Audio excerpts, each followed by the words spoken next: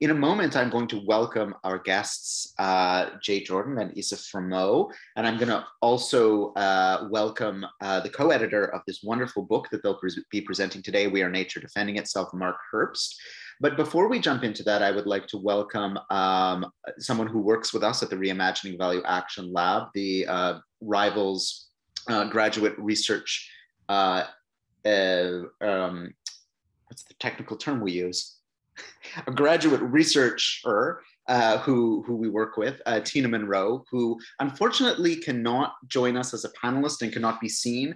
And so, as a disembodied voice, is going to uh, give us a, a land acknowledgement to begin our event. Tina. Hi, everyone. Bienvenue at TWIST. Um, as Max was saying, my name is Tina Monroe. I'm a graduate student and graduate research fellow at Rival, Imagining Value Action Lab at Lincoln University. Um, so because Lakehead University is located on Anishinaabe territory, um, trying to acknowledge the traditional lands of Fort William First Nation, signatory to the Robinson Superior Treaty of 1850. The Orillia campus is located on the traditional territory of the Anishinaabe. That includes the Ojibwe, the Odawa, the Potawatomi nations, collectively known as the Three Fires Confederacy. So today we're joining in this meeting over Zoom, which is a cyber world that takes place beyond our bodies, beyond geography. So I'd also like to take a moment to acknowledge the relationships that we share wherever we are on this planet today with the land, each other, and most importantly with ourselves as land. And as Jay and Isa mentioned so beautifully in their work, when we realize that you can become the territory, freedom no longer floats in the air, but lives in the relationships and the ties of need and desire that you build. So with that, I'll pass it back to you. Thank you.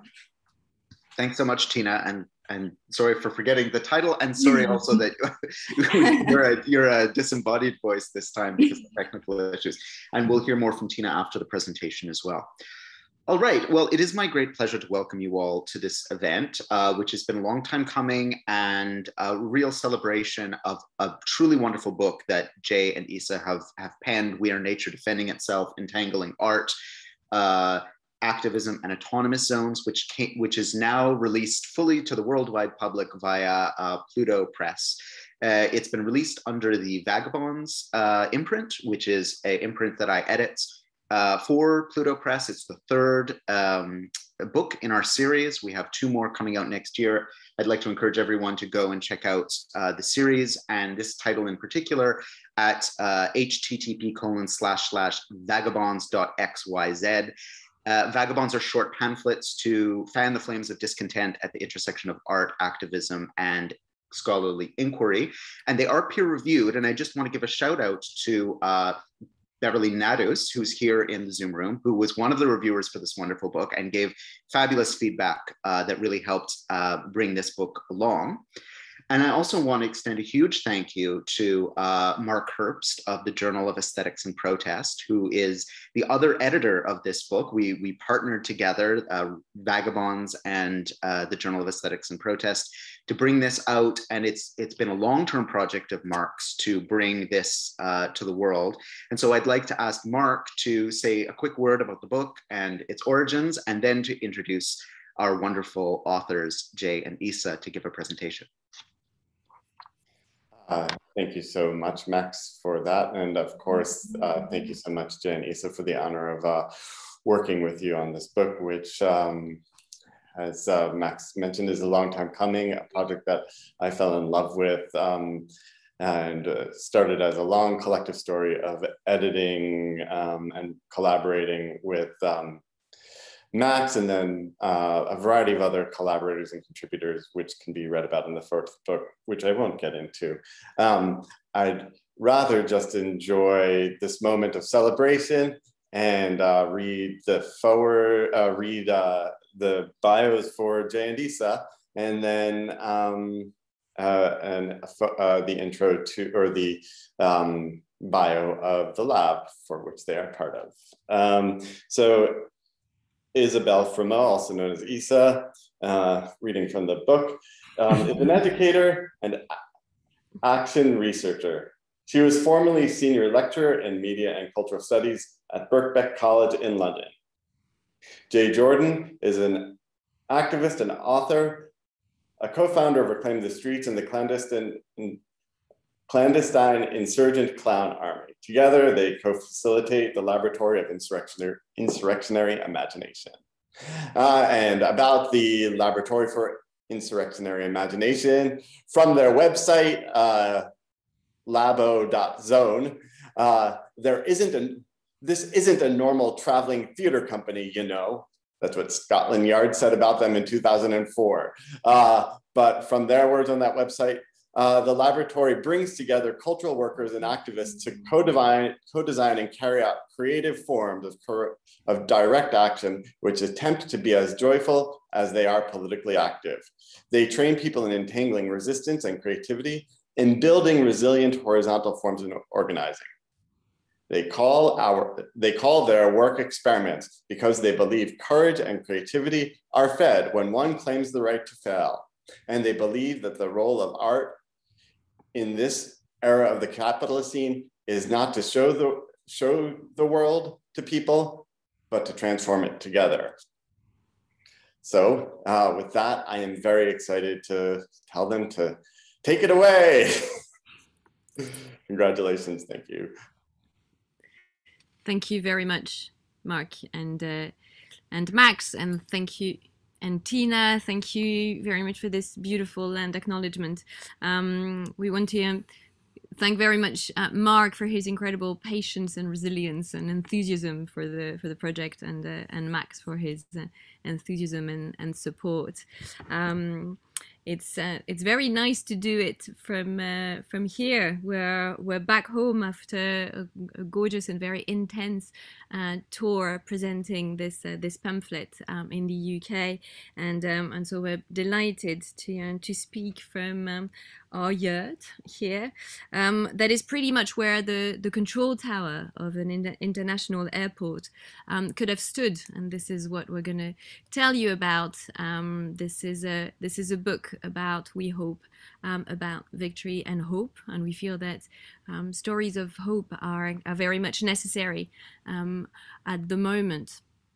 Um, this book um, indeed took a long time coming, in years in fact, and that's mostly because we tend to prioritize action over words, and uh, and the writing was put on hold many times um, to put our lives and our bodies in the way of the building of an infernal piece of life-wrecking um, infrastructure that is an international airport that was planned for the wetlands on which uh, on which we we are. And uh, and as our one of our great ancestors of land occupation and squatting and radical commoning and pamphlet writing Winstanley wrote over 300 years ago words and writings were all nothing and must die action is the life of all, and we feel that it's really important to, to have that in mind uh, today. Um, the title of this pamphlet, We Are Nature, defending itself is even older than the start of the of the writing and we actually first saw it um, in the midst of an action back in 2012 um, and it was tattooed on the forearm of a comrade in a in a muddy tear gas field forest uh, just next uh, to here. And she was basically throwing uh, tear gas canisters back at the cops when the French government thought that they could just come with their troops and, and build their airport. And this is what we're going to tell you um, about tonight, how they could not. Um, we uh, we also first used the the slogan for an experiment that we co-facilitated in, in 2015 with our collective, the Laboratory of Insurrectionary Imagination. And basically the, the pamphlet tells our story, our very personal version um, of the, the story of the lab and our journey to try to really truly entangle art activism and everyday life.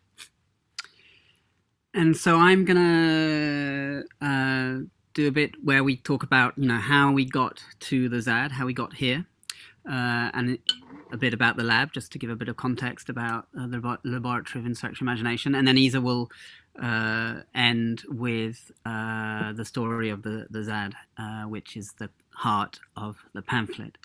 So, what do we do in the lab? Mark explained it a bit, but basically, we bring artists and activists together to create new forms of disobedience. Basically, the idea is to design and then to deploy new forms of disobedience. Key word being deploy. There are a lot of artists who do a lot of designing of forms of disobedience, which often stay in the museums and the galleries and the theatres.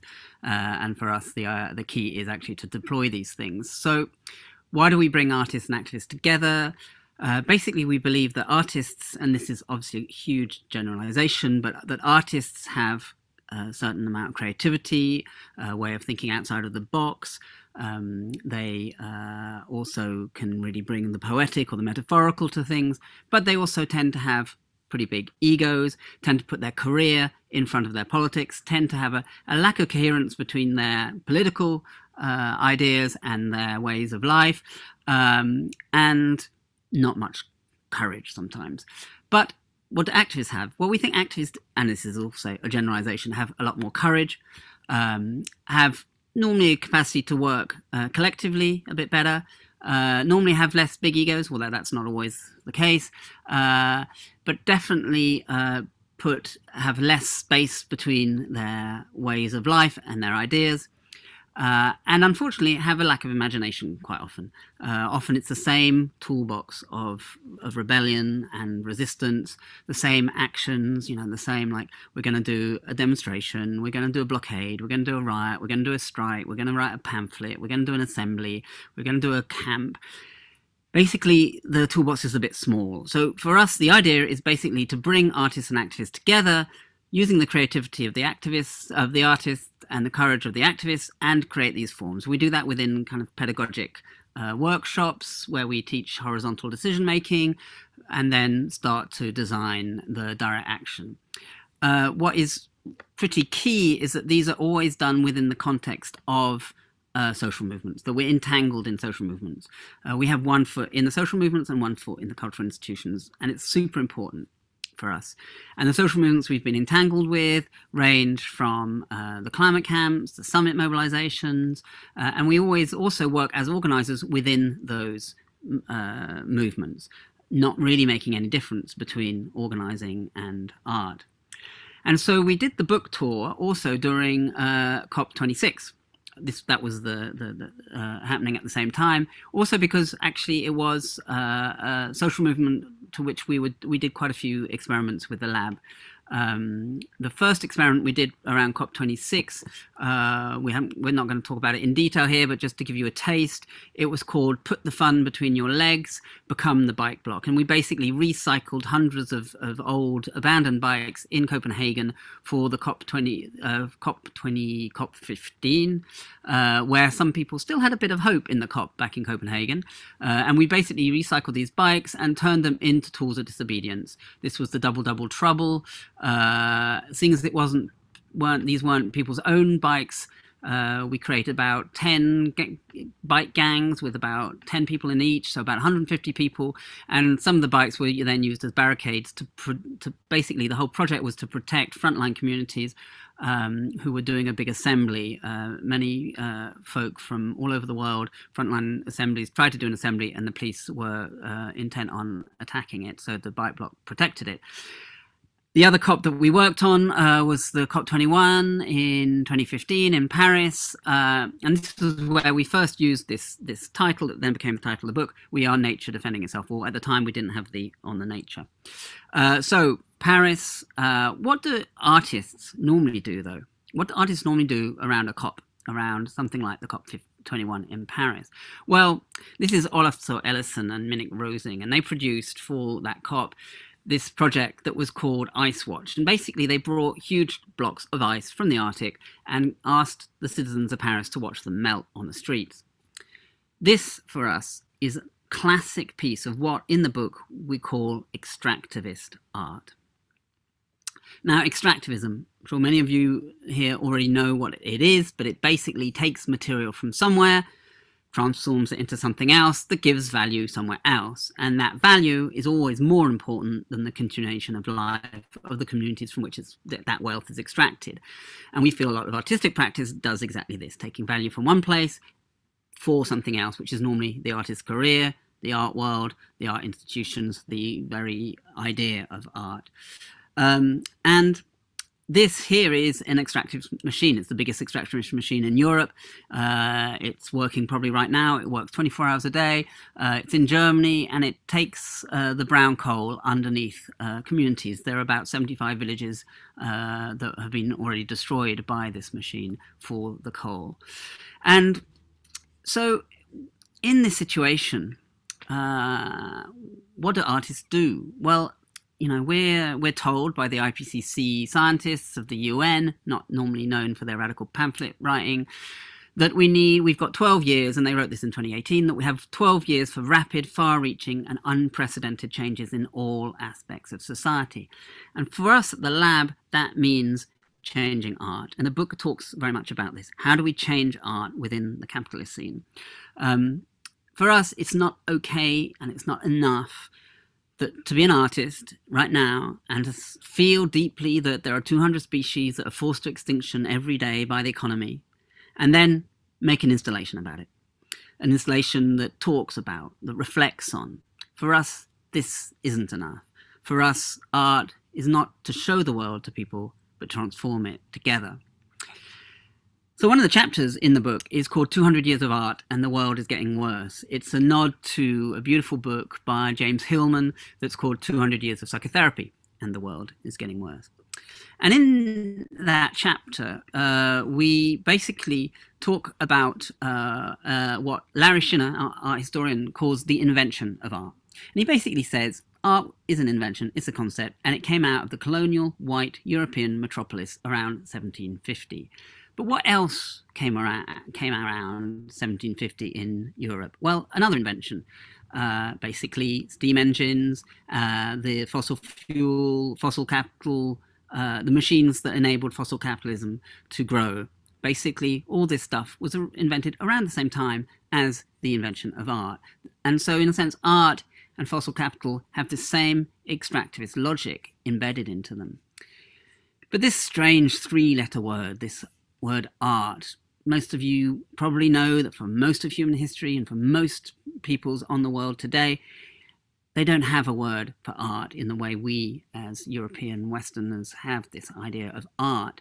Um, it, uh, it, it comes from the Greek techne and the Latin ars, and the irony is that even the Greeks didn't have a bloody word for art. In fact, for them, it, it meant any human activity. This could involve be horse breaking, shoemaking, verse writing, vase painting, governing, navigating. Any activity was seen as an art, not because it was done by artists, but because it was performed, and this is the, the key word, it was performed with grace. What is grace? Grace is an act of thinking with and thanking the world. It comes from the Old French. It means thanks, as in grâce à, as in gratitude. And for us, what we call in the book an art of life should be an, an act, a gesture of thanking life for giving us life, an act of mutual reciprocity, an act that never separates ethics from aesthetics. And around 1750 in the white metropolis as this idea, this invention of art evolves, uh, you have these separations, massive separations of the modern, separation between genius and skill, a separation between the beautiful and useful, between art and craft, between culture and nature, and in the end, between art and life. And without these very violent rifts, all the ideals and practices and institutions that make up the art system that many of, of us might be part of they would collapse without these violent rifts. And of course, this idea was pushed and it colonized our imagination, this invention of art. Uh, and ever since 1750, intellectuals, entrepreneurs, missionaries, armies have spread this invention and turned it into an unchallengeable universal. As Ariella Aïsha Azoulay says, from the beginning, art has been one of imperialism's preferred terrain. Imperial violence is not secondary to art, but constitutive of it. And so, what did we, the Laboratory of Insurrectionary Imagination, do during the COP in Paris? We didn't put icebergs to melt, but we did this.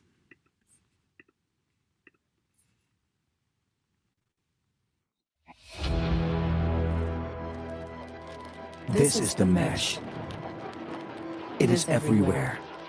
Some say it can't be defeated. But what if we cracked it open? Would we be nature defending itself?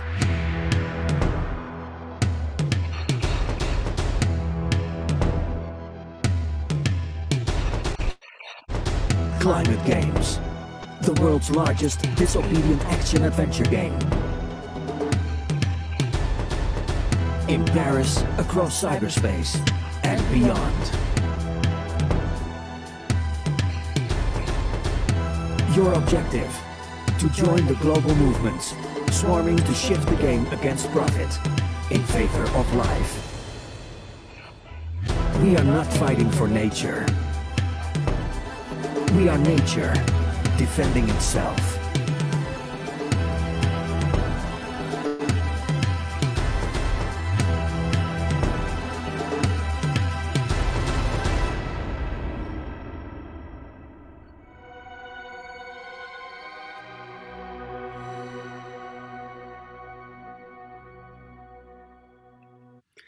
So basically, the Climate Games was a game inspired by a similar project, but on a very much smaller scale, uh, organized by Earth First in, in the Netherlands. Um, and basically, we the idea was to mix on the street action and online um, uh, uh, mapping systems. And so basically, we worked for a whole year uh, setting up hackathons where we brought together artists and activists and designers and hackers and gamers. And we did these hackathons in uh, cultural institutions, in museums, in theatre uh, festivals, and so on. Brought these people together and started to develop this idea. The key of it to it was an anonymous mapping system. Basically, the anonymous map was there. People would set up teams. They would then, in their teams, put what we called play zones onto the map. Now, of course, the play zones were uh, places, were targets uh, of fossil capital. Um, and then people would go and do actions in the play zones and put the results of their actions on the anonymous map. As it was a game, there were prizes. And after the actions were done, basically all the teams voted for different uh, prizes. There was the prizes for the funniest action, there was the prizes for the most clandestine, there was the prizes for the action that gave mutual aid to other groups and other teams. And what some of you probably know, three weeks before uh, the uh, Paris uh, Climate Summit opened, there was the Bataclan terrorist attacks. Uh, and a state of emergency was put in place across France. Friends were put under house arrest, and any demonstration, any action in the street was banned. You could only be in groups of two on the street. Um, we continued the games, nevertheless, saying the uh, emergency, true emergency, was a climate emergency, and um, about 120 teams took place, and about 225 actions happened. One of the actions that won was this group here. They were from Brussels. Uh, they're called the EZLN, a nod to the Zapatistas, of course. Um, and they did this action called Operation Vivaldi. Sorry, Vivaldi.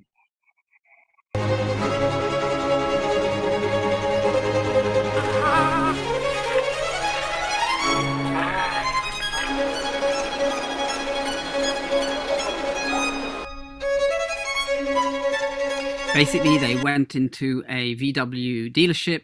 They brought a sound system with Vivaldi's Four Seasons, and they brought with them loads of seasons. They brought with them uh, leaves and twigs and so on, and then left them there, and then did a haka, hack, hack, never the, um, the, choreography, the, the choreography uh, with We Are Nature defending itself.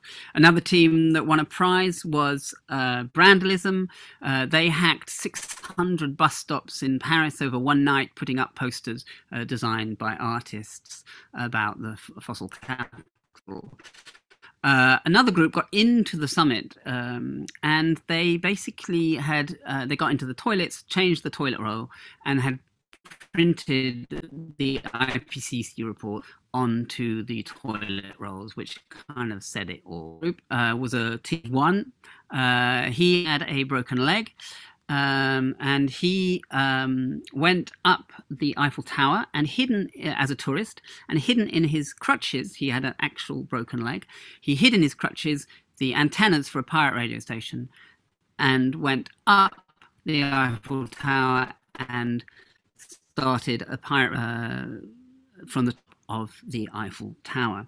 Another group actually blocked this machine that we showed earlier, the biggest extractivist machine in Germany. But this was all very well, but there was a problem. There was really a problem for us at the lab. We felt we had, since 2004, when we formed, we had done many experiments and had managed to merge art and activism in a successful way. But there was something missing everyday life. Our big inspirations are the Western European avant gardes, Dada, Surrealism, Situationism, and they had this kind of holy trinity of art, politics, and everyday life. And for us, the everyday life seemed to be missing. We would go and do these events, we would go and do these summit mobilizations, we'd go and do these these things at festivals and and and, and so on, and then we'd come back, and uh, we'd come back home to London, and we would actually continue to reproduce capitalism in our everyday life in this metropolis, which we felt so deeply is a space which is designed so that humans only relate to themselves, that they don't relate to more than human, any other species, just to themselves. They see themselves as the only makers of worlds. And it's the, the metropolis which is a reign of the artificial over everything, a place that commodifies every single relationship. And so we felt that we, by coming back again and again, there was a huge hole in our life. And so we went away for uh, seven months. Uh, we got sabbaticals from our work and did a tour around Europe. Uh, looking at utopian communities in Europe, self-managed communities, um, ranging from squatted farms to occupied factories by their workers to free, free love communities. And out of that came a book and a film, and came ultimately enormous amount of courage.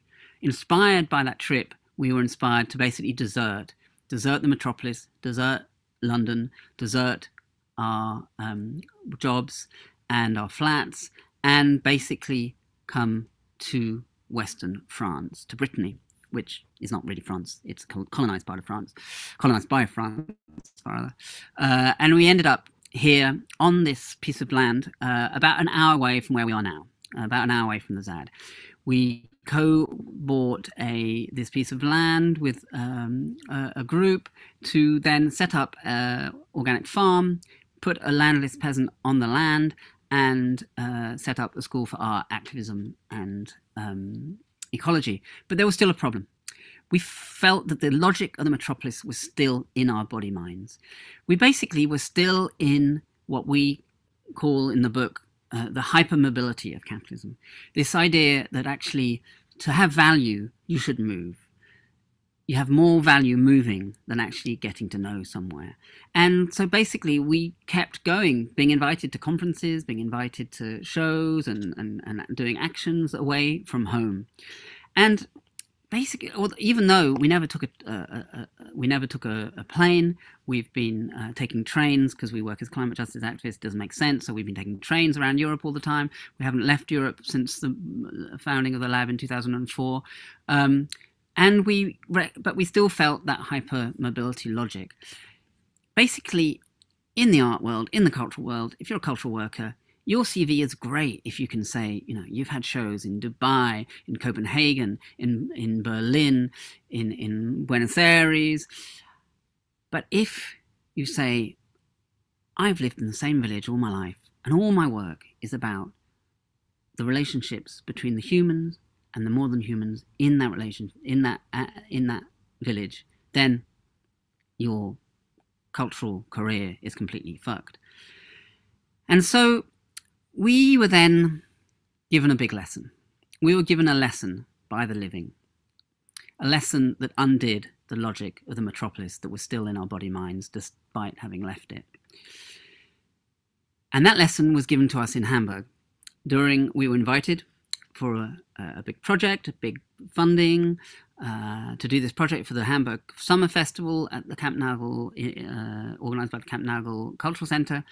And our project began with a 10 day training in art, activism and permaculture that we, we gave to precarious workers uh, and youth in, in Hamburg. And it the idea was this there was 10 day training, and that training ended with a show. And the show began in a theatre. Uh, as we often do when we work in theatre contexts, we love the stage. We love the fact we can use the lights and so on, but it doesn't last very long. And very quickly, we turn that stage into an assembly space, into a space for debate. And so that happened. And in Hamburg, the debate was is it ethical or not to sabotage the banks that fund fossil fuel corporations? Is it ethical to sabotage them with ants? These are the probably the only species in the world that is named after their exterminator. They were named after Mr. Rasberry, who discovered them. Uh, he was a pest exterminator, and he discovered that these ants actually love to go into computers and basically cause short circuits. This is because they are uh, have multiple queens. They need to make nests everywhere, and actually the warmth and the size of computers is actually perfect for ants' nests. Except they create the uh, short circuits. They've been known to sabotage uh, NASA and uh, parts of Houston Airport. So the audience decided that this was an ethical thing to do. We then left the theatre, dressed in our edible balaclavas and edible costumes, and went and uh, put the pheromones of the crazy Rasberry ants into the banks around Hamburg. But there was a problem. We love mushrooms of every sort. We love them because they're the de- decomposers of death. They're the connectors to everything. We love all kind of mushrooms, not just magic mushrooms. And uh, we wanted for the show to turn the curtain, the theatre curtain, into a mushroom curtain. So we built our own mushroom curtain, working with an amazing artist, Catherine Ball, um, and it was an eight by nine meter curtain that we had to hang in the theatre. And we wanted it to feel like flesh, to feel like a curtain of mushroom flesh. Uh, so we chose the colors uh, and we put the uh, mycelium into the, the straw. Uh, and for anyone who hasn't grown mushrooms before, what normally happens is you, for 10 days you don't see anything, you water it, you wait, and then they pin they suddenly come out, little tiny mushrooms, and then three days later they go. Boom.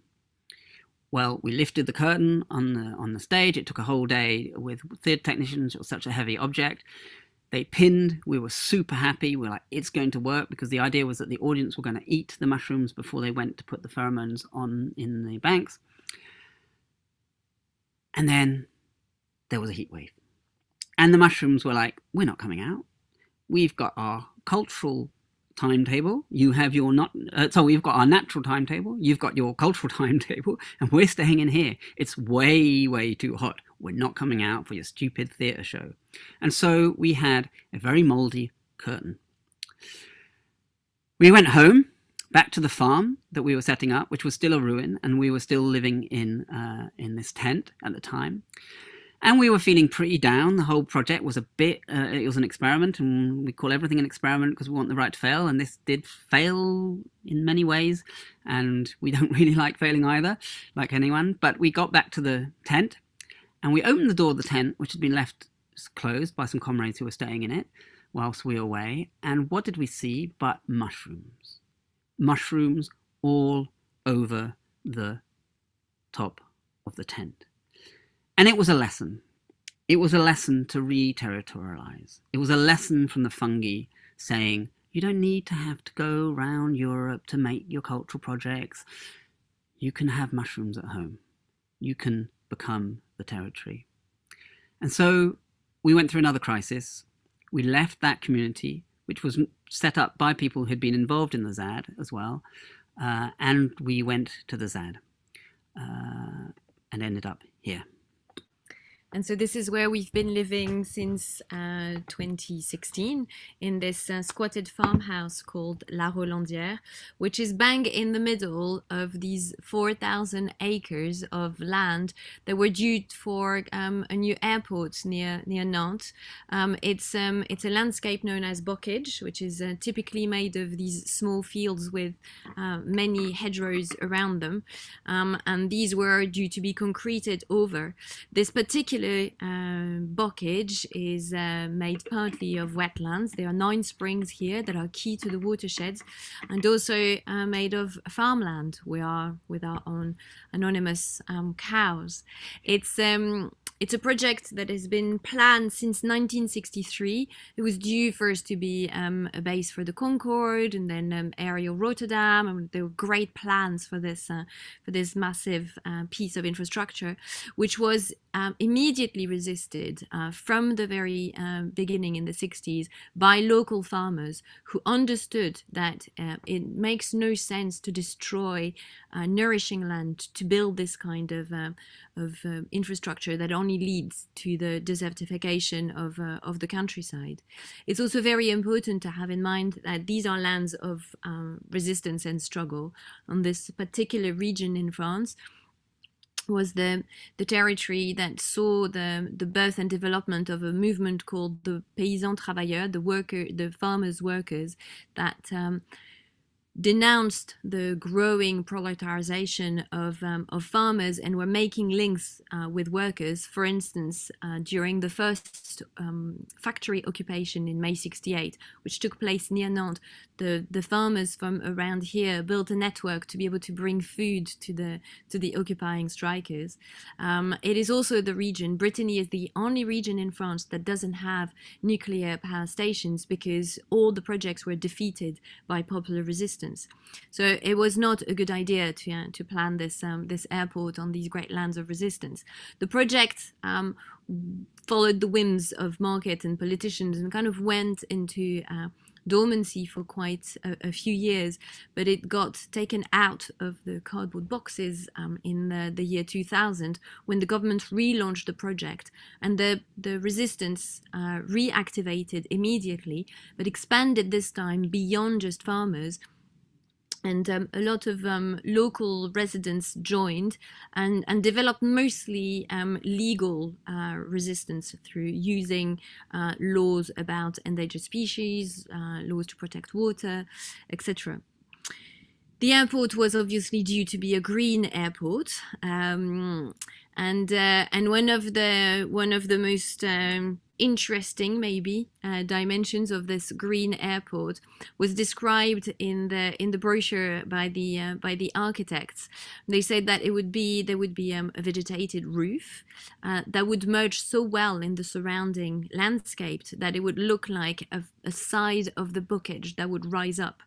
Um, the bocage indeed did rise up but not quite in the way that they had expected in 2009 there was really a turning point in the um, in the struggle where um, inspired by climate camps in the UK some people uh, came back with the idea and organized a climate camp in the in on, the on the site uh, in Notre Dame des Landes, uh, very very near where we're, we're sitting right now. Um, and during this climate camp, there was a, an open letter that had been written the year before by local residents who had who had grown a bit fed up with the lack of direct action uh, of the, the state of the struggle at the time, but most importantly had realized that the government was buying uh, land and, and farms to make way for the airport and therefore was emptying the, the territory. And, uh, and in their letter, they said to defend the territory, you need to inhabit it and basically invited people to come and squat land and farms to be able to really uh, uh, give a new boost to the to the resistance. And that's and at the end of the climate camp, when the tents and the marquees were packed up, um, a few dozen people um, answered to the uh, invitation and stayed. And this is really where the slogan uh, against the airport and its world came into life. What is interesting is that um, ZAD is actually um, a hack, and it's the hack of a, of a planning term. And ZAD is an acronym that means Zone Aménagement Différé, a zone where the development is going to be um, happening later, and so that means that the territory is uh, is earmarked, and nothing much happens because it needs to be left for further development. Um, the irony is that on these 4,000 acres, one of the things that did not happen because it had been earmarked as a ZAD for the airport was what we call in French the remembrement, i.e., the district the destruction of hedgerows to make way for agri- um, industrial agriculture. That didn't happen um, and when basically in 2009 uh, the the the ZAD, uh, the, the climate camp uh, turned into the ZAD, it became the zone à défendre, no longer the zone à aménagement différé. And it was the, the beginnings of what would become uh, this world famous autonomous zones where people started to um, build um, huts and uh, and tree houses, some that were more punk and uh, some more futuristic. There were floating cabins on, on lakes, um, many that were entangled with the 222 kilometers of hedgerows that form the, the bocage here. And what they also did was to actually make links with local farmers, not always uh, in very easy ways. It can't be said that it was um, that it was plain sailing, but making links to uh, to begin to farm um, and produce in the way of the airport as you can imagine, that was not um, that was not seen in a very positive light by the by the government, who in um, in 2012, on the 16th of October 2012, launched um, a massive military operation to evict the squatters.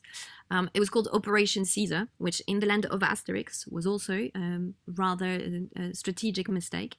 Um, and basically, when the when the cops, when the thousands of cops descended, they faced they were faced with a resistance that was more diverse and more determined than anyone had expected. Um, and when they turned up, they basically didn't know whether they would be faced with uh, burning barricades or um, old age pensioners uh, singing peace songs to them. There was really um, quite full on conflict to more um, non violent uh, resistance to, uh, to treehouse evictions mud was a great ally during that very wet winter. Um, there was very good slingshot actions, um, and there was also the demonstration of one's vulnerability through uh, showing naked bodies to the lines of, of Robocops, um, and all the way to some uh, good old Viking resistance. Despite that um, extraordinary resistance, uh, 12 farmhouse and collectives uh, were were destroyed uh, within a matter of days. But something else happened in the bocage at that time, something that was very unexpected, and that is the coming together of different forces that were not supposed to um, to come together, and that really came to light on the 17th of November 2012. There had been a call out that had been produced more than a year before that had said um, if they evict will come back exactly a month later and rebuild what has been destroyed. And at the time, um, Jay and I were, were living um, an hour away, as he was explaining. Um, and when we saw that call out, we had been involved in the resistance against the evictions. And when we saw that call out, we thought, well, obviously, it's it's very important to um, to take part, that we, uh, we will go, but it's very likely that it will be it will be small. It's like everyone will be exhausted. The attention, most of the attention will be put on anti-repression. We'll build a symbolic cabin, and um, and that'll be it. That's not quite what happened. The 40,000 people came, and many of them were organized groups with pre-built cabins in tractors Lots of cabins were built this weekend with an amazing energy. Lots of people say it was the most beautiful day of my life. It, we were sharing an intense moment of unexpected. On this day, we really had the impression we would win against this awful project. Every morning at six o'clock, we were on the barricades, masked and ready to do I don't know what personally, for example, I didn't know how to resist, uh, but I was there. For many, many people, it was like that. They didn't came the first day, they didn't came the second day, they didn't came the third day. On the Friday morning at 6 o'clock, the police came. They destroyed the cabins we had built. They also began to stop the work in La Châtaigne, which is a village we had built for this demonstration. The cops try to attack, not having understood that when you have 40,000 people who have built this together, they're gonna have even more uh, motivation to defend it.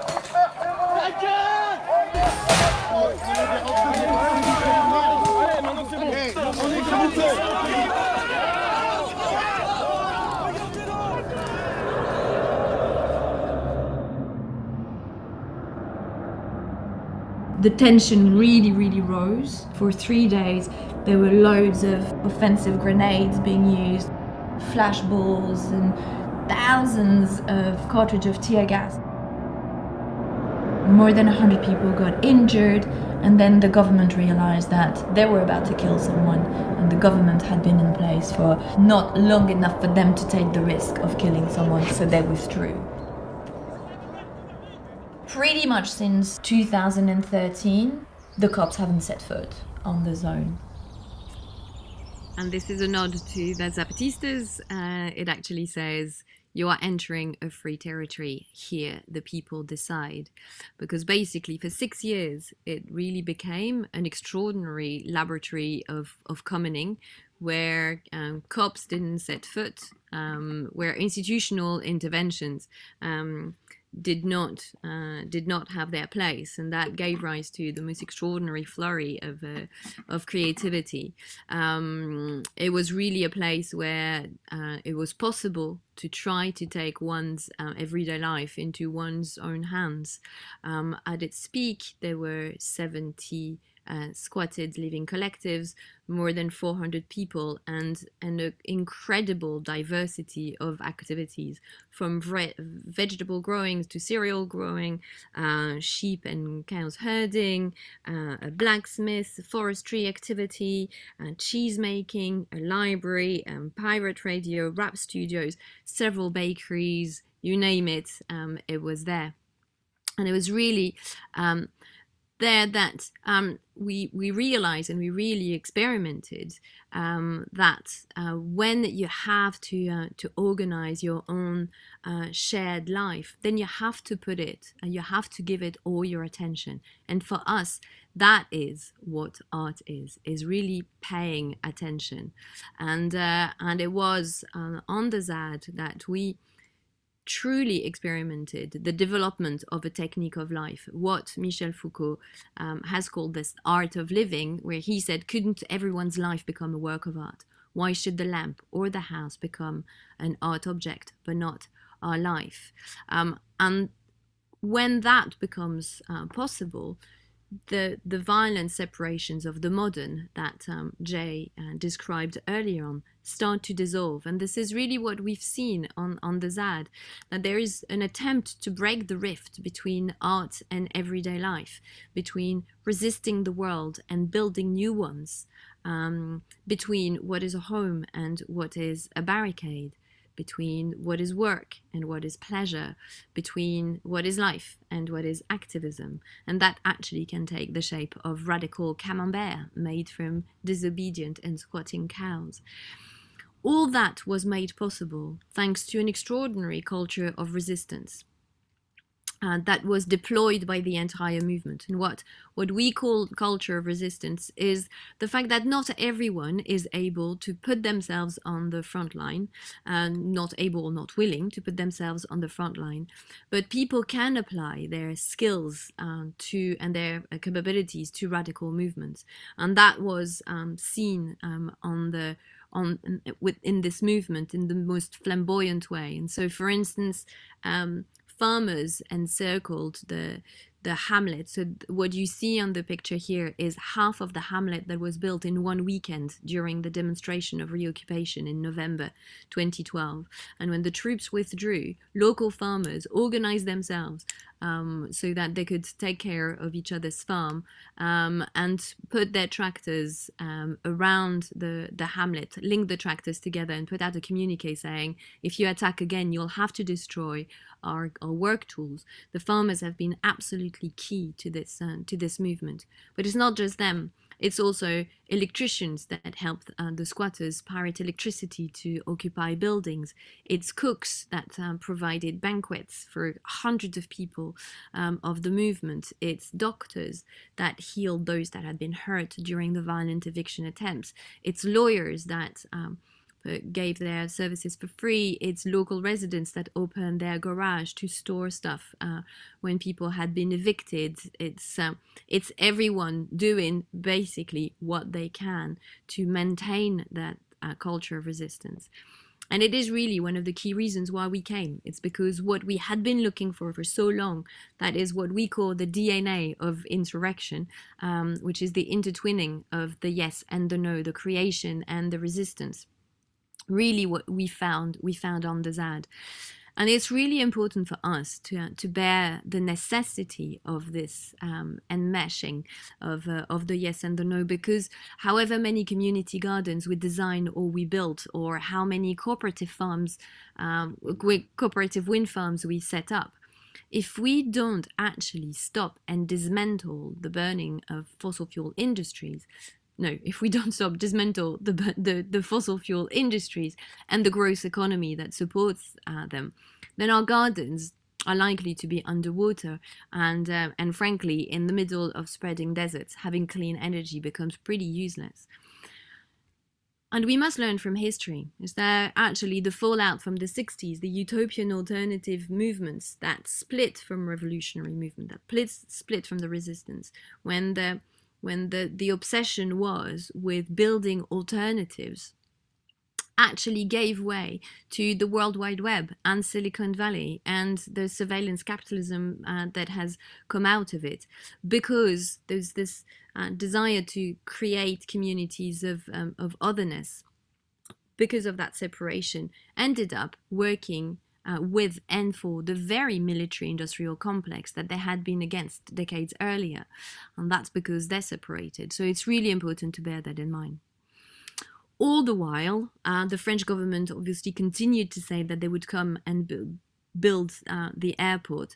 And so, with every um, announcement, the movement responded with extraordinary uh, determination and creativity. Uh, putting thousands of um, bodies and bikes. This is the occupation of the the the large bridge that uh, links the ZAD to the city of Nantes, where 20,000 people, 1,000 bikes, and 500 tractors occupied it for an entire day. A month later, 60,000 people came partying on the motorways that surrounds the ZAD and where the, the, the building of the airport would have started with the, the building of the access road. We also organized rituals that were disguised as demonstrations. And for instance, we, uh, we called for people to come with walking sticks and plant them in the soil of, the Notre, of Notre Dame des Landes, making the pledge that they would come and pick them up if there were attacks. 40,000 people came and 25,000 sticks were planted turning one of the hedgerows into the most fabulous porcupine. There were also acts of everyday magic, such as the building of a lighthouse that we can see from our window just now, and exactly where they wanted to put the control tower of the airport. And so on the 17th of January 2018, after more than 40 years of resistance, the airport was cancelled uh, by the Prime Minister on live TV. And in the same breath, he also said that um, the illegals, i.e., all those who had come uh, to the invitation of uh, local residents, had to legalize themselves um, or be evicted or leave. Um, a delegation of the movement um, produced a totally legally sound uh, document that and said, well, to the government, if you sign this, you want us to be legal, you sign this, we become legal, and all is fine. Um, the answer to this proposal came on the 5th of April at um, 3.20 in the morning.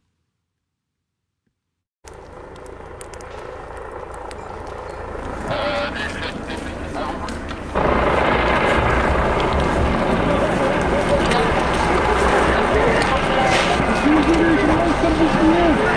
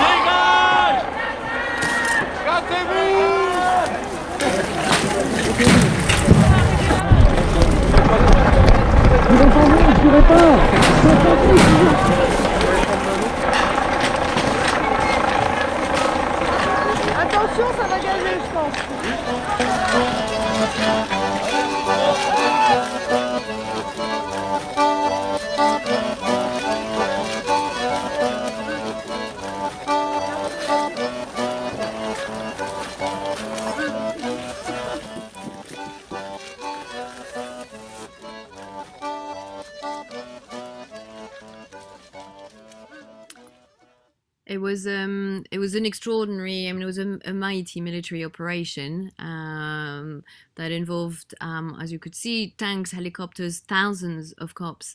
Um, within a matter of three days, um, eleven thousand grenades, uh, concussion grenades, and tear gas grenades had been thrown at people that were defending life on the Bocage, and um, and a third of the cabins of the ZAD were were destroyed.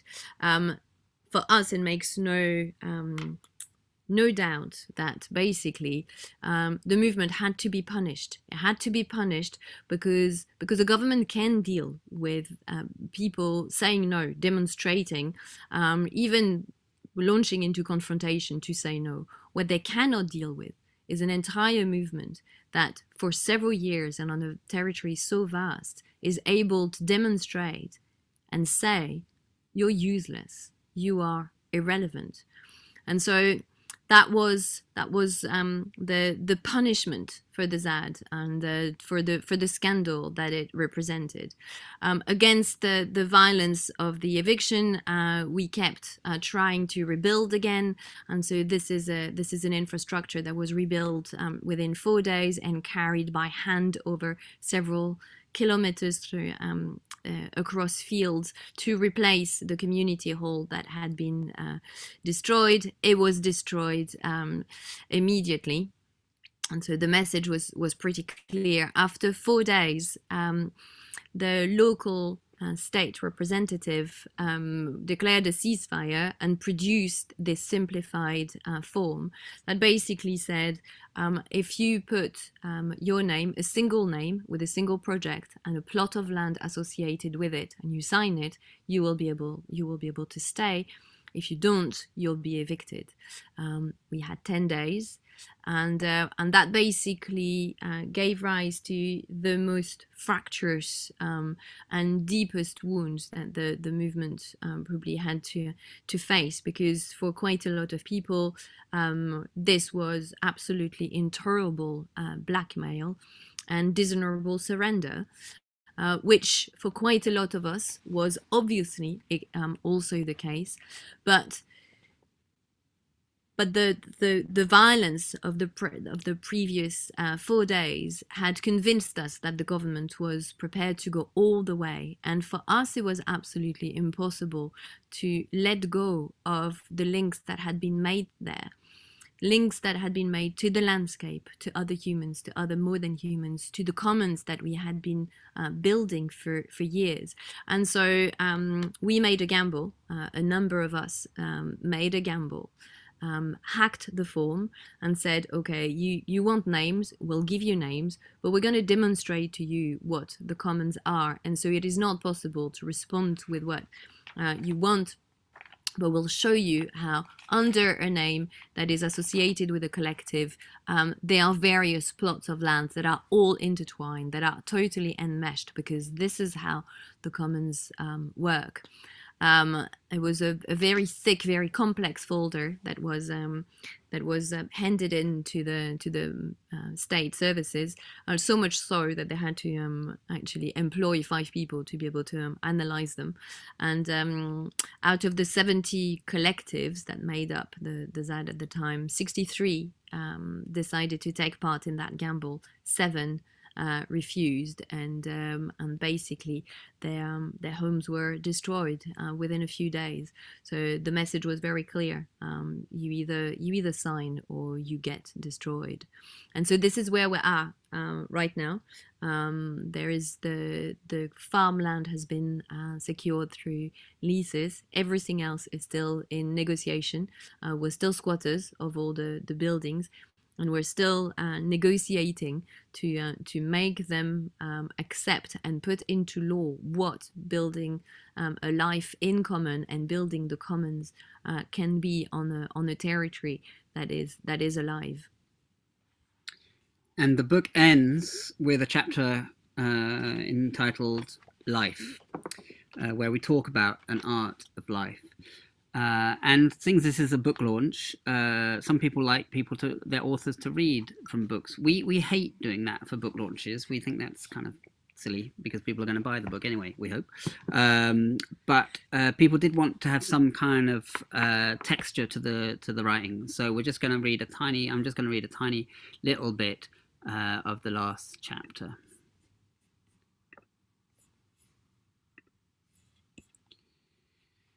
On the Bocage, we have become the territory because it engulfs and nourishes our imaginations and our bodies. We know when the frogs spawn and when the buckwheat is ready to mill. We sense when the potatoes will be harvested and celebrated with a French fries festival. We notice when it's been too dry and the ponds become lifeless. We care when the amphibians mate and the message on our phone reads, Walk and drive carefully, it's the night of the fire salamanders. We're familiar with the weave of green lanes because we learned them whilst ambushing the police. By deserting the metropolis, we learned to pay attention and practice an art of life. But as our friend, the philosopher Isabelle Stengers writes, the art of attention is not just giving ourselves to things a priori defined as worthy of attention, but obliging us to, quote, imagine, to consult, to consider consequences involving connections between what we are accustomed to considering as separate. End of quote. Countless people now hold the picture of the Zad in their imaginations, like one might carry the memory of a work of art, an image that reminds us that we can all shape our worlds otherwise. On the Bocage, feelings and desire become form in the shape of a struggle that put life in common at its heart. To many, even though they would never term it thus, this land has become sacred because they sensed its wonder and risked and dedicated so much of themselves to ensure it never became an airport. Quote, Nothing is made already sacred, end of quote. Hermeticist and youth worker Orlando Bishop reminds us. Quote, it becomes sacred when we give our attention to it at a level that reveals what it holds as energy and information. End of quote. When land becomes sacred, the struggle becomes art of everyday life, magic,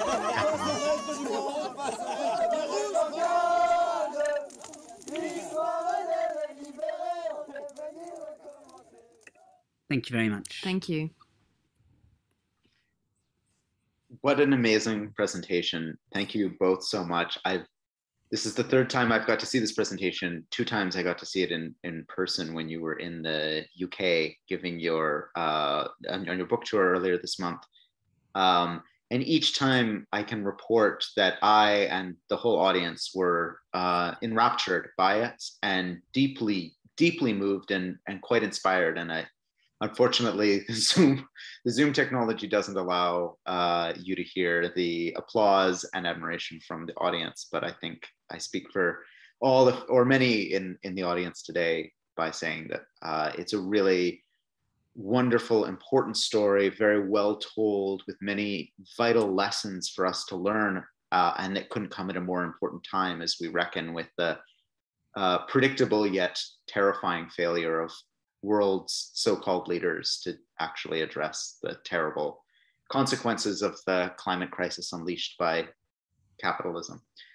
Um, I want to now invite our um, our audience to chime in with questions, and uh, I just want to remind you all that uh, the event is being recorded. It's also being live streamed. It's also being transcribed by an artificial intelligence. Um, and so I just want to give you a couple of options in terms of how you pose your questions before I ask Tina to uh, start us off with a question or two. Um, if you wish to me to relay a question to Jay and Isa, uh, then please use the Q&A function. Uh, I will say, so-and-so has a question, and I'll use whatever first name you uh, provided for us. If you don't wish to use your first name or you don't want me to mention your first name, that's fine. Just write anon or anonymous before your message, and I'll make sure I don't reveal your who you are. If, however, you'd like to join us here uh, by voice in the Zoom room and pose your question uh, vocally, uh, unfortunately, we can't do video, but we can do voice. Uh, please raise your hand. There's a little raise hand icon, and I will call on you uh, and enable you to share in that way. Um, Tina, do you want to start us off with a couple of questions while our audience is thinking of theirs? And I do see that a few audience members already do have uh, questions and comments for me to share after that. Sure. Thank you so much. Thank you very much, Isa and Jay. Um, I think it's such a beautiful prerogative of land back. As sometimes I think in the Canadian context, with so much territory, we think of land back as something that's external to where we are now, and is some kind of like poetic past. Um, Jay, I just want to say the thing that you said about the ants was really fascinating about how the capacity to establish our own sovereignty in kind of foreign capitalist environments can wreak havoc. I think that's a really um, interesting point. Um, I think one thing I want to ask you about is even um, the book you mentioned briefly um, having um, suffering from post traumatic stress because of, um, I guess, the resistance from the state. Um, and I think what like you keep mentioning over the years, like these things keep persisting and happening. And I think what PTSD is that there's no post when it keeps happening. So I'm wondering what kinds of things that you do that keep you attached to land, keep you attached to these relationships in um, when thinking that these threats are always so very near to us and constant it seems mm-hmm. I can I can answer for myself. Um, I think that one of the things that certainly keeps me going is the extraordinary texture of relationship that um, that they are here, the solidarity that we've seen, and this the the feeling that is very difficult to describe um, to have been part of something that is absolutely extraordinary. And uh, and to it still happens to me very regularly that even people that really really infuriate me in some situations I just have to remember that, you know, I just have to look at the forest that is still there, that is still standing, that is, you know, I just look at the hedgerows and and look back at these people that, you know, however infuriating, have been part of this struggle and and that all this is still standing thanks to what we've built together. This is something that really, really um, helps.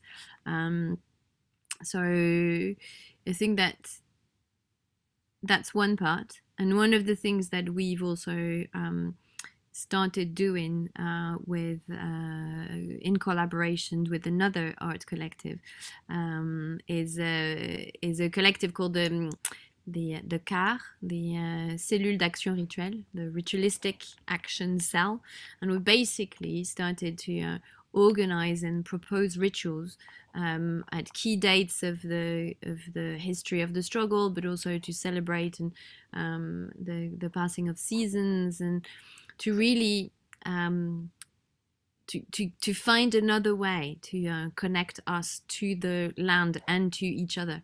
Um, and this has been um, really, I find, a part of some sort of healing process. Yeah, maybe just to to add a few things, not much to add to what what Isa says, but I, I suppose um, the importance, I think, for me has been to also have a kind of uh, uh, what some people would describe as a spiritual practice uh, that involves uh, meditation and rituals and, and, and, magic, and to to have that as a regular practice that is something I learned from ULEX, which is an incredible educational space in the in Catalonia, uh, which looks at questions of um, regenerative activism uh, and does a lot of work against burnout. And what I learned very beautifully from there was was really also that you know I I realized as an activist having a massive burnout uh, in 2017 that for 25 years I'd actually put my uh, political uh, desires in front of my uh, personal needs most of the time. Um, and so what what we learned really beautifully there was how you know how do you actually balance what your your needs are, uh, personal needs are, with your political uh, action and desires. Um, and we've been so inspired by that work that ULEX has been doing for many years that we're going to try and translate that here on the ZAD. through an education project and working with a group, uh, an amazing group here that's called Soin Soin, which means care care, uh, which is doing has spent a year doing a survey of everyone on the ZAD, um, looking at their needs for healing and health. Uh, one more question. You're talking about um, education in the communities, and I'm really curious about how um, the ZAD and its activities have an influence on the imaginations of the youth who are growing up in the regions, and how that's kind of raising up a next generation of leaders. Um, and I guess from there, how that can extend outward. I think um, I just think a lot about how um, youthful imaginations can be kind of bound by the limitations of state recognition. And I think I'm just curious as to how you guys are mm-hmm. defining that and how, sorry, rather defying that and how that's redefining futures of today's young people. Well, I think that what is extraordinary here is that you, it's basically 4,000 acres of um, of open air. I was about to say school, and it's exactly exactly what it's not. It's not a school. It's just it's just this absolutely gigantic um, learning environment all the time. And I think that what what it produces in a lot of young people that I think we see visiting is is an opening up to uh, the capacity to learn otherwise and to really learn through doing, to learn horizontally, um, to learn from each other, and um, and to really have this um, sense not just on the theoretical uh, plan, um, but really through experience of what it means to to intertwine the yes and the no, to actually build in the face of uh, of risk and destruction, and uh, and to really try to um, to balance out because I think that it's also in the yes and the no that it's easier to to balance out the the the personal needs and the needs of the of the struggle. So um, I think that this is one of the things that I can I, I can think of that is very impactful for the young people we see coming through the zone. I think the other experience for a lot of young people, especially if they spend a bit of time on the on the zone, is the cross generational uh, nature of the struggle here. I mean, we at Table sometimes have seven decades worth of life. So everyone from I'm often the oldest, uh, in my late 50s, and right down to someone who is two years old. Um, and I think that is extremely rich uh, and quite rare in activist circles in Europe. Um, and I think the the other thing is is actually the manualness of here that, that that you know actually very simple things and most of the youth who visit are coming from urban settings very screen based and just coming here and realizing that actually here's a load of people that do not spend their life on screens um, and you know get involved in, in, in, in, making things with their hands and, and, and, and touching things and, and growing things. And and that is pretty pretty radical for a lot of young people. And funny enough yesterday i took a uh, a young person who was quite uh, in quite a dark state, 21 year old, quite a dark state, and I took her to get a lift to leave the ZAD, and I took her, and the lift happened to be from the nearest McDonald's, which is like 15 minutes away. On, and as we got out of the car, she was like, "Oh my God, I'm coming back to civilization." Not that we're ever outside of civilization, but there's that experience of being in something that is different and that can be different, and it's possible. We don't have to have this monoculture machine. I want to bring in here a question from uh, Ben, who writes uh, So much of land disputes are bound up in rival versions of space, or rival visions, I should say. Plans, designs, maps are produced and resisted uh, of what relation people want to uh, have to the land or to impose upon the land. And Ben continues What were your experiences in the ZAD of mapping as disobedience? Of co-creating and reclaiming mapping as a strategy for people and community and against the historic practices of carving up and enclosing the land for exploitation. I know you folks showed a, an image of a, a, map that was created of the ZAD before, um, but it, yeah, I would also be really curious to uh, to hear cartography um, and and mapping has been really really important tool on on the ZAD for for many years. There was actually a cartography group um, that was set up. And interestingly, it really links to this notion of culture of resistance because uh, there was someone who was working for the city of Nantes um, who had access to uh, very, very specific. Um, uh, types of uh, software to be able to do really complex mapping and um, and she came with that um, access and taught people and, and there are quite a few architects here who are uh, like dissident architects that live on on the ZAD and actually did a lot of uh, of using mapping and, and cartography as tools of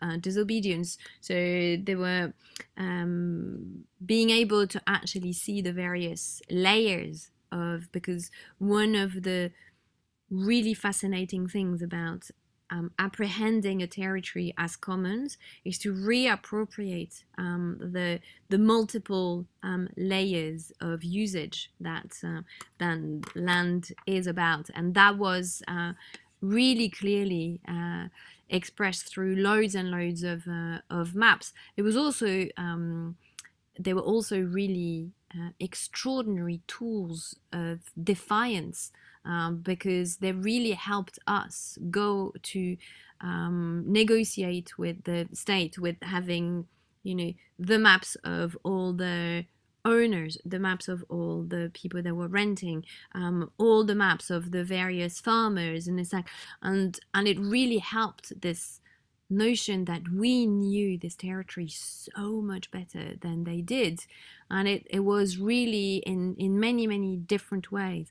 It was it was an extraordinary um, tool of um, of resistance also because in many circumstances um, we could actually reappropriate uh, the tools of domination. I think that Ben's question is really spot on because it's the very often the, the, the mapping and the cartography is used against um, against resistance and uh, and here it was it was really used um, against it. So and one of the things that for instance in the in the welcome space that is at La Rolandière there is a gigantic map in the in the space and and it's it's a really useful tool also for people to get a sense of the the vastness of the the territory and seeing all those um, points with all the the cabins and the collectives. And so so it's also very much a tool to um to get more of a, a sense and a texture of what the territory is like.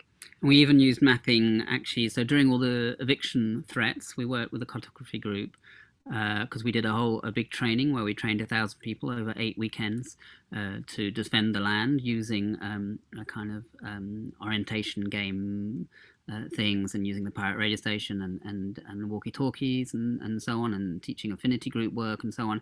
And we produced this special map which was called the ZAD Atlas and it was made special size so it could go into your pocket uh, in and so it wouldn't get wet in the mud and the tear gas and so on.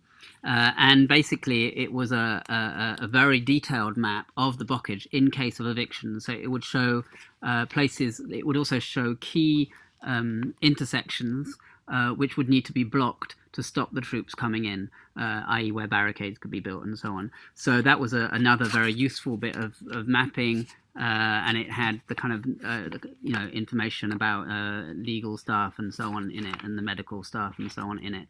So that was also a different, another special kind of more hands-on mapping for the territory defense. I believe Mark had a question. Yeah, I do. Um, so I uh, loved, uh, as Max also said, I loved hearing how the um, presentation changed. Uh, I went to the first uh, presentation um, in Edinburgh, and I'm curious, uh, kind of two questions. Um, so as, as you mentioned, um, the book launch happened throughout the UK during the time of the, of the COP Summit. I'm curious how you, um, how the presentation, if how the presentation changed in relationship to your growing um, or to any apprehension of or any awarenesses of how people were feeling throughout the UK in relationship to the summit, if, if that entered it. And then also, second question, because as you pointed out in the talk, you guys in the past have organized activism central to the sites of um, climate-based summits. I'm curious how, uh, well, how you saw, thought about what it was to be working outside and beyond that space in this time.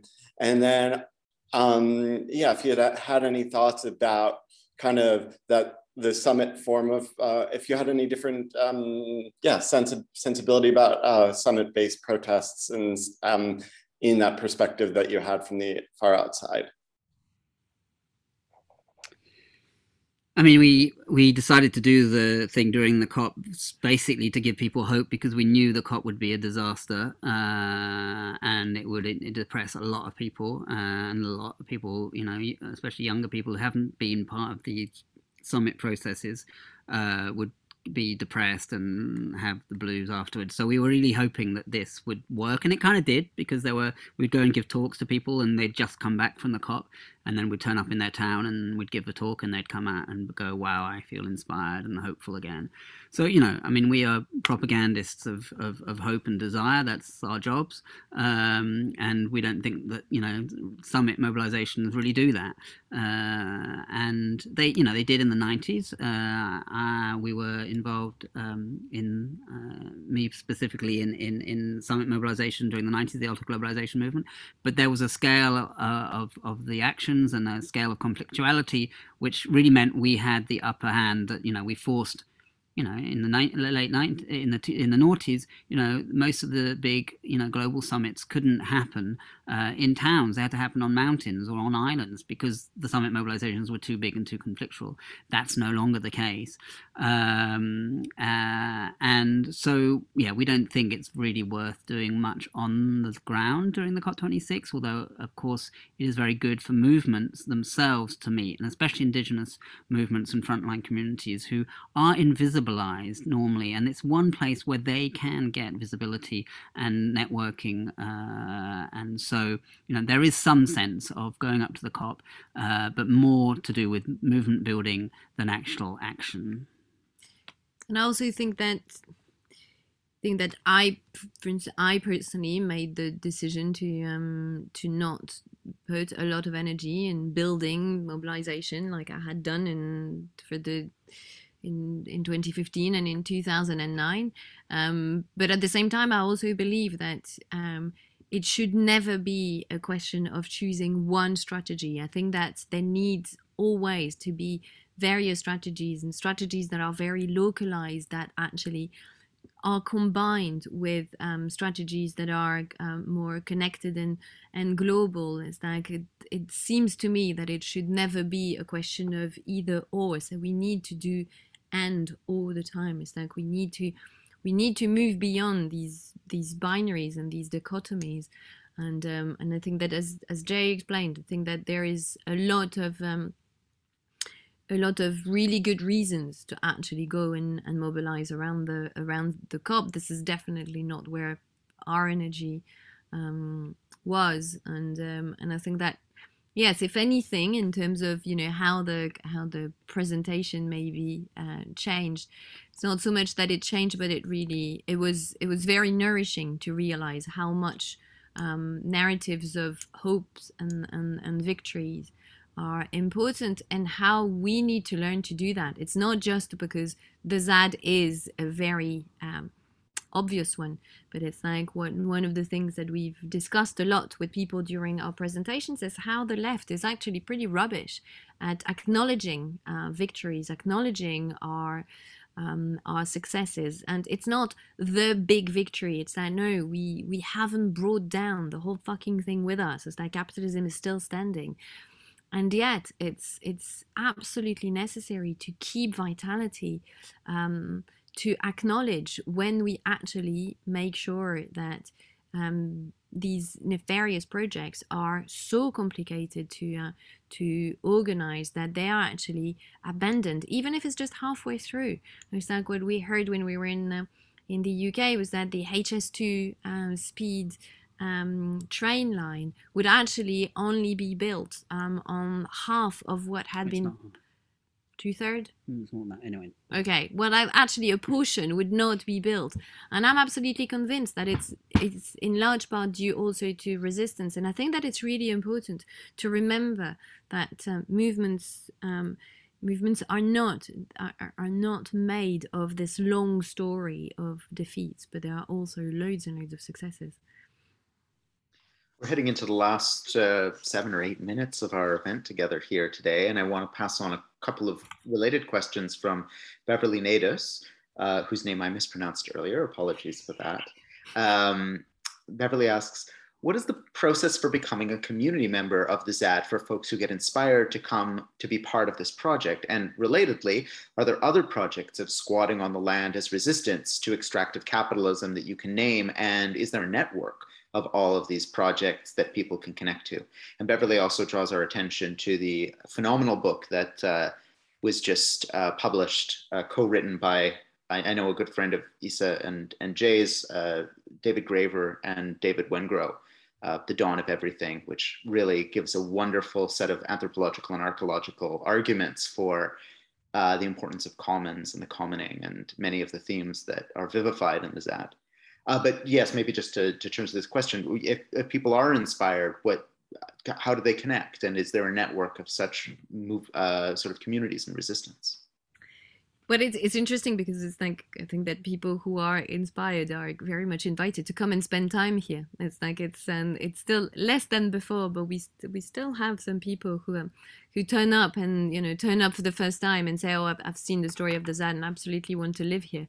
And, uh, and the advice is always the same. It's like spend some time first, and we'll see. You know, it's like let's let's actually experiment life together before before um, deciding that this is what we want it's really important uh, they are um, they are processes um, that are partly informal and partly formal we don't have yet very very formal processes for people to be um, to to come and um, live here um, but they are I mean, it's it's starting to be put in place, and it's very much about finding ways to integrate into uh, the the common, the life in common and commons buildings. Um, uh, it's very often by integrating a collective and finding projects to uh, to get involved in, and um, and if there are other, there have been quite a lot of uh, land-based occupations and that actually took the name ZAD um, in Okay. France, and uh, and a few have actually also won. It's like there is a Center Parcs that was um, supposed to um, to destroy, I think it was 40 hectares of forest that was defeated, and partly also through um, an occupation of the forest linked exactly like the ZAD to a movement that had loads of other um, tactics, including um, uh, legal um, procedures and and very malicious um, attacks. It's like I'm not sure that there is a, a formal network, but certainly uh, the ZAD here really tries to be a a point of connection and so there are various events that are being organized very regularly for for this kind of struggle to come and meet and exchange and uh, nourish each other. I don't know of a of a formal network, but it's it's uh, here is certainly one of the nodes of the of the network. Do you want to add something? No, I think that's a no, node of a network is a nice way of ending this networked nodal presentation. well, I think we have one more uh, question from from Tina as we as we head out. Tina. Actually, I was going to ask a question about um, the counter mapping, but I think we're kind of heading in a good direction here with networking. Um, so I will leave it there. Also, I just want to say, you mentioned in the book that the ZAD was in the dictionary now or something. So that also speaks to the breadth or the reach of the ZAD and the network and the coming together. Yeah. And I guess um, the processing of all these different algorithms for life that come together with the ZAD. Anyway, thank you very much for today. No, thank you. Thank you. Yes, thank you so much, uh, Jay and Isa, for for joining us and for this amazing presentation. Uh, I know that many of us are going to be sharing the video of this presentation with our comrades and colleagues and students and friends um, and encouraging them, of course, to uh, pick up the book, uh, which you can find more information about at um, vagabonds.xyz slash wandi. Uh, Mark is holding a, a, beautiful copy of the book. Uh, it's a very lovely artifact, I must say, thanks to uh, thanks to Pluto. Um, any final words, Mark, Isa, Jay, before we before we head out? More information about upcoming events and other things can be found on that same website I just mentioned. Thank you so much, Max, for all your work, and Tina as well. Yeah, thank you for for all the patience because it was a long process and uh, and the incredible editing and uh, thank you for the great questions, Tina, and the beautiful beginning and um, yeah, um, we're gonna. I'm I'm gonna be in Berlin. If anyone's in Berlin, giving a book book launch in Berlin uh, on uh, the first of December at Hopscotch. Uh, look at our website labo.zone. There's the news feeds on that uh, that take you to Twitter and Facebook, where that kind of information is, and you can sign up to a mailing list of the labo.zone as well, uh, which is occasional mails about events that we do. Wonderful. Well, we'll see everyone in the streets, in the forests, and on Zoom in the future. Uh, have a good night, a good afternoon, a good morning, wherever you are, and uh, we'll look forward to seeing you next time. Good night and Thank good you. afternoon. Good night.